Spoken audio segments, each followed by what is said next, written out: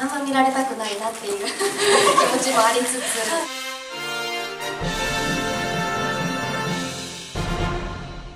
大家好，欢迎收看 Daily News。父、子、聖霊の皆によって祝福します。アーメン。アーメン。アーメン。そのコメディっていう作品初めてだったのであんま見られたくないなっていう気持ちもありつつちょっと複雑な感じです温かい目で見守っていただけたらと思います。はい。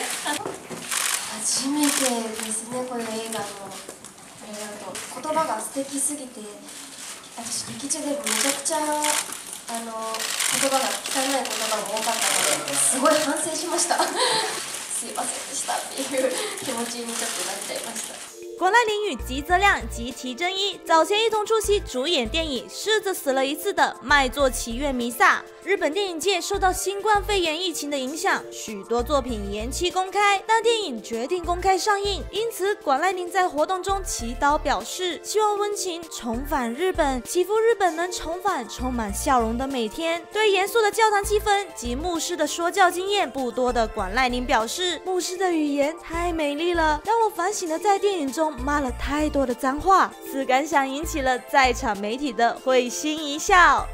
感谢大家收看 Daily News。